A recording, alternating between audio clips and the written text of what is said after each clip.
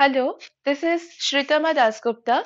Welcome back to the challenge series of Ivy Professional Schools Visualization Internship.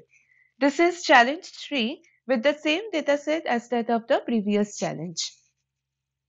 The dataset consists of retailers table and the sales table.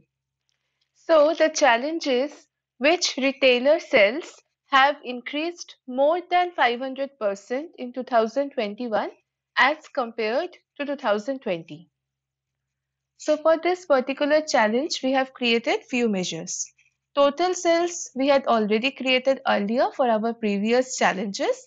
This time we created total sales 2020 and total sales 2021. For both of them, we have used this calculate function.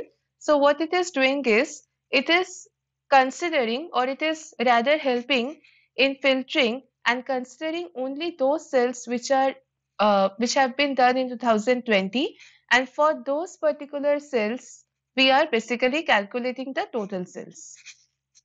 So we have done this for 2020 and 2021.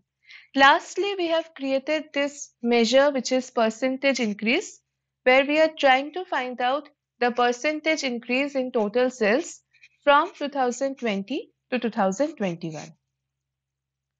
Now coming to the visual, we have dropped the retailer ID and percentage increase in a table and on top of that we have uh, used this filter on the visual which is percentage increase should be greater than 500.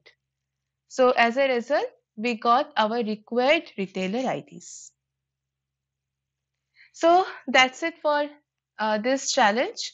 Stay tuned for the next challenge.